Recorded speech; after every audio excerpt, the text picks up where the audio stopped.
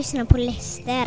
Hallå alla goa gubbar och gummor! Glenn Hysén här och det är jag som är kvällens julvärd här på Muppesittarkväll med Lester och kompani. Det är en jävla ära kan jag säga. Julen för mig handlar mycket om gemenskap, god mat och fotboll givetvis. Inte nödvändigtvis i den ordningen. Julen handlar också om att träffa en väldig massa knepiga släktingar. Man håller sig undan under resten av året. Men innan vi gör någonting annat här ikväll så ska vi givetvis tända ljuset. Så till er alla, från alla oss, en riktigt jävla god jul på er.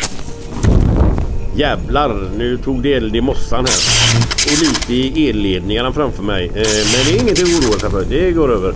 Jag har nämligen förberett mig med en brandsläckare här. Så det är bara att släcka skiten. Oj, aj, helvete! Åh, oh, jävlar! Det kanske inte var meningen. Aj, helvete! Vad var det?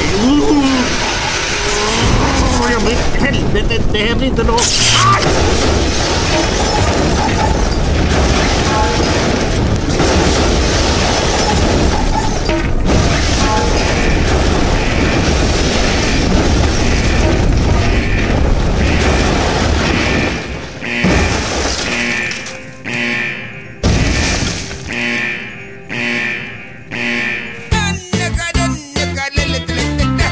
Aj! Du lyssnar på Lester.